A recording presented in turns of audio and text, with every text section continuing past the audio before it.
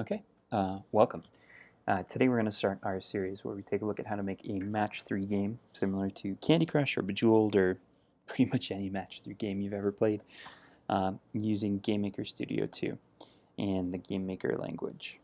So, first things first, um, I'm using GameMaker Studio 2 because I record on my MacBook and that's the one that works with this. I've tried everything out in Studio 1.4 and it works just fine. So if you're using Studio 1.4, it should work just fine for you. If you want to use Studio 2, or if you've never used it before, you can download the trial version, and we're not using too many assets today, so everything that we do today should be fine for the trial version. So, um, if you go to GameMaker Studio's website, it's at yoyogames.com. I'll include the link in the description. You can just go to Get GameMaker. You have to make an account for the trial version, but that's not that big of a deal.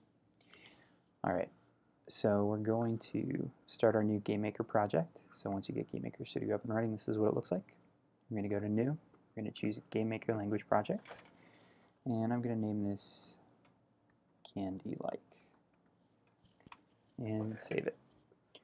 Uh, this is what the main screen for GameMaker Studio 2 looks like. It's almost reversed for GameMaker Studio 1.4. All of this stuff is over here on this side. So let's talk about Candy Crush, uh, which almost feels a little weird to actually talk about. So this is Candy Crush Saga. This is what it looks like. I'm just going to talk about the gameplay and how that works. Get rid of these things here. Okay, so it's match three game. It gives you hints. Uh, if you match three things in a row, like that, then they explode and everything else falls down. And if you get four, you get more points, and you get like a special power up. If you get five, you get a different power up. Hopefully, everybody knows what a match three game is, but I mean, who knows? So that's what it looks like. It's really kind of mindless fun, but it provides some interesting challenges for creating a game. So let's do that. First thing I want to do is I want to create some sprites, and I'm going to import the art I made in the part zero video for that. So over here I'm going to go to sprites, I'm going to right click, create sprite. Now a lot of people have this convention of doing SPR underscore for their sprite names. I like to do S underscore. Uh, the reason they use SPR is because there's sounds and scripts, but I'll do different for those. So I'll do S underscore. This is going to be a background tile. And I'm going to edit the image here. And I'm going to go up to image. And I want to uh, import strip image. And I'll find my strip image here. She's on my desktop maybe. Oh, it's in my documents. Yep, there it is. Match 3 strip. I just didn't see it. Alright, so my strip image here has nine images in a row. I want to take uh, just the first image. 32 by 32 horizontal offset. So if I hit convert, it should bring in just my first image, which I'm going to use for my background tile. So I'm done with this, so I'll X out of that. I'm going to set my center, or my origin, to be middle center, and my speed to be zero. Since there's only one image, I don't need to change that, but I find it makes things just a little neater there's my background tile. I'm going to import another sprite. And this is going to be for my dots. And I'm going to use dots. You could use whatever you want to. Uh, just so long as you're matching colors together. Colors and shapes, hopefully. So again, I'm going to go to Edit Image, and Image, Import Strip Image, and Match 3 Strip. This time, I'm going to have 8 frames, 8 frames per row, uh, 32 by 32, and I'm going to do a horizontal pixel offset of 32, which means it's going to start with the, not the first frame, which we already did, but the next ones. And I'll hit convert, and yes. And there I've got my eight different frames. So I'll just X out of this, set my speed to zero. In GameMaker Studio 1.4, you have to set your speed to zero in the create event of the object, but I'll cover that when we get to it. Uh, and for each of these, I'll set them to middle center as well. Okay, so now I'm going to create a couple objects here. So down in my objects, I'm going to create a new object. This first one is going to be a controller object or a game manager. And this just exists kind of in the back of the room. This is going to monitor the creation of our game and later on it's going to monitor the score and stuff like that too. So I'm not going to assign a sprite. I don't need this to be visible. I'm going to add an event to this and first we'll do a create event. So I'm going to just kind of delete this code and start with three slashes so I can do a description. And my description here is just going to be initialize the game. Okay, so first I want to know how many uh, of these squares wide I want my grid to be that I make. So I'm going to say width is equal to, and I'll do 10, and then I want to know how many squares tall it is. So I'll do height is equal to, I'll say 14. Now I need to know an offset between each of these. So offset is going to be just how wide the sprites are, which is 32. Now I need to know an x start and a y start. So do x start equals, for now I'll set it to 0, and y start equals, set that to 0 as well. Now I'll jump back in to take a look at the document camera here in just a second. It was a bit too soon. Uh, I want to take a look at my room first before I do that. So if you're using Studio 2, it'll automatically create a room for you. Um, if you're using 1.4, then you have to make a room. I'm going to call this r underscore room 1, and I'll open that up. And, okay. So the change menus for Studio 1.4 are slightly different. There's these tabs up here. I want to go to the properties though, and I want to set the width and height. So I want to have at least 10 rows wide, and they're 32 pixels per row. So my number of pixels has to be at least 10 times 32, which is 320. So I'm going to do, let's say, I'll do another 40 pixels on each side. So this is going to be, actually, no, I'll do 340 on that side. And then for my height, I'll do 640. Is that right? I want it to be roughly 16 by 9, so it's similar to phone size. Yeah, we'll say that. Okay, so now I'm just going to drag in my game manager object, and I'm pretty much, oops, put it inside the room. I'm pretty much done with the room for now, except for maybe setting my background there. Let me look at my background here, and I'll make it something really dark gray, but not quite black. All right, so done with my room. Now, uh, to the document camera. So I want to have my width be 10, my height be 14. So if I'm taking a look at this, let's just kind of imagine what this looks like. So I've got my screen here. Pardon my super bad drawing. I'm going to have a certain amount on each side, and then I've got my 10 cells here that are 32 each. So this is 320 pixels. I made the whole thing 340, uh, which means that I have 20 pixels extra, which means that I need to have 10 pixel padding on each side in order for it to fit the way it's supposed to. Now we don't have to center it top to bottom. Uh, I wanted to do 14 cells tall, uh, 14 times 32. Let's see, that's 320 plus 128 is 448, unless I made a mistake. And then the room that I set up here, if I jump back to GameMaker, I already closed it. Okay, the room that I set up is 640. So if I subtract the 448 from 640, what I'm going to be left with is, let's see, 192.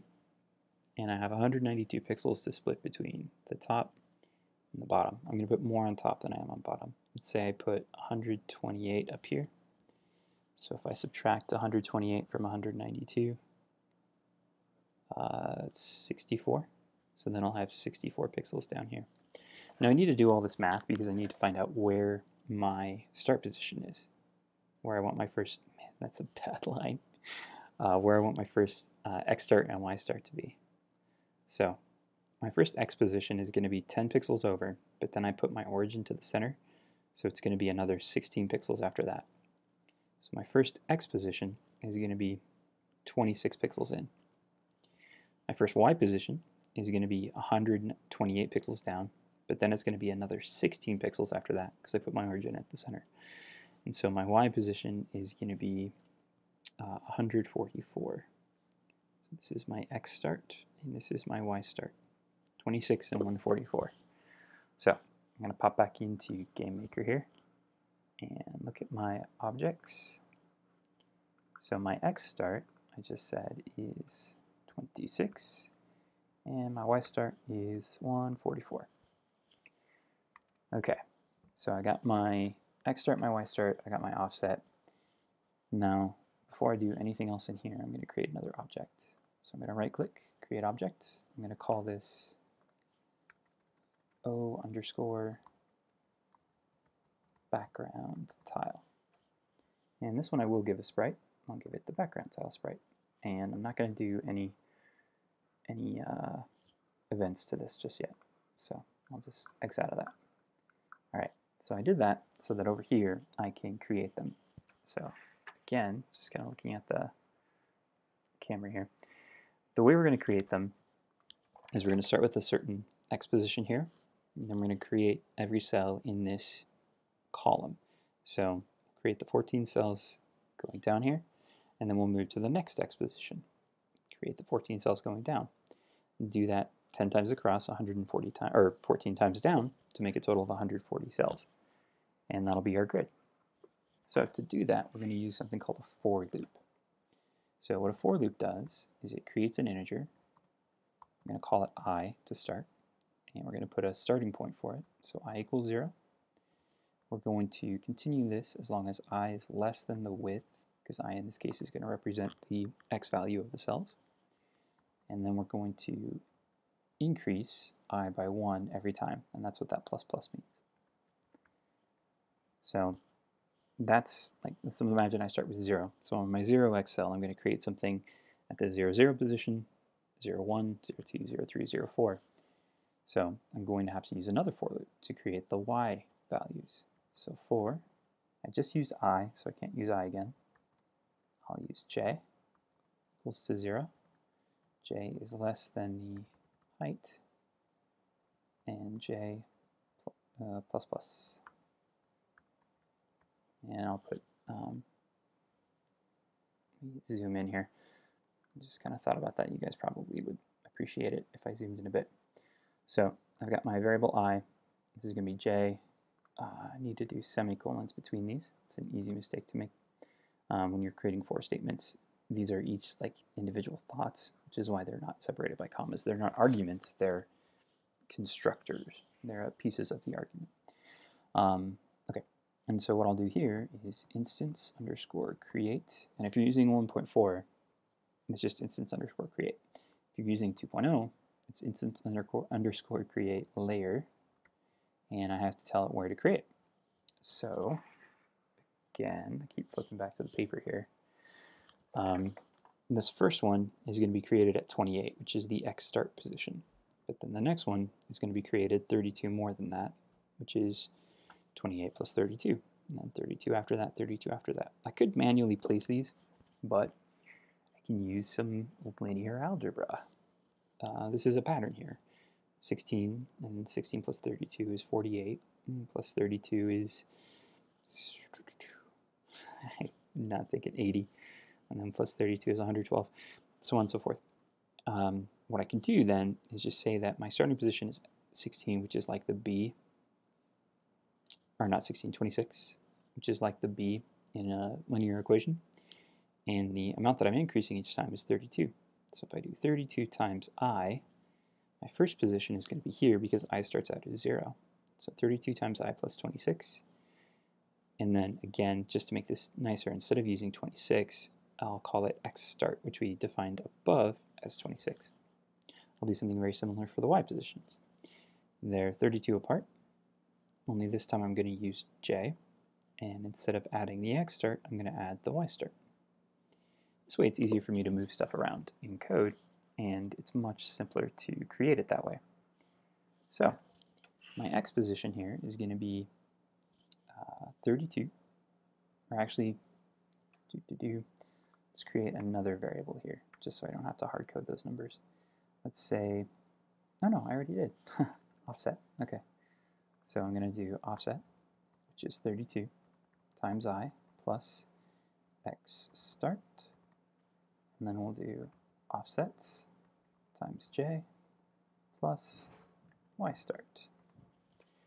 Now, if you're using Studio 1.4, you don't have to do the next part, but we're using 2.0, so we have to pass in a layer value as well. We're just going to put this on the instances layer, which by default is layer 0.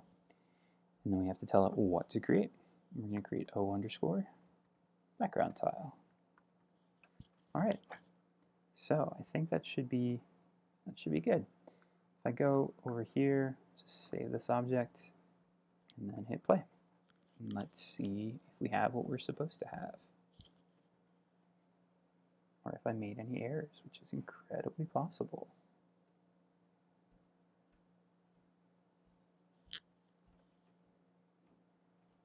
Okay, it's looking good down there. There we go. Alright, so we got GameMaker Studio 2, and there's our grid.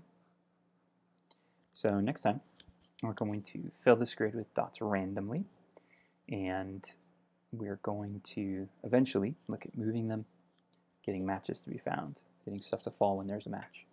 But this is just the first step for today. So, thank you very much.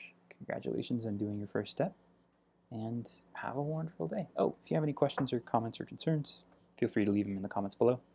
Um, I left my Twitter link too, where I'll post uh, news about upcoming videos. So have a great day.